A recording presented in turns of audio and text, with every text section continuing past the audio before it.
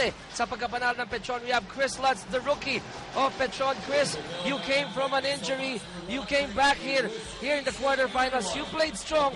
What preparations did you do to be able to play well? Uh, you know, just working hard every day with therapy uh, over at Moro. But, uh, you know, biggest thing is, you know, I always say this uh, the, the other guards getting me open looks, uh, the bigs giving me some screens. But, uh, you know, it's just uh, my teammates, you know, just getting me open. Well, Chris, congratulations. You played well offensively, but let's talk about the defense that you guys showed in today's ball game. I mean, special mention to Rob Reyes, but you guys played tremendous defense today. Yeah, I mean, Rob's been holding it down in the paint for us. Uh, you know, we know that that's what it's going to take to get wins out here in the playoffs is play defense. So uh, holding them to 64 points uh, was great for us today.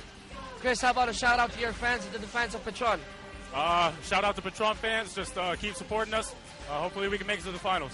All right, thank you, Chris, and congratulations for winning our best player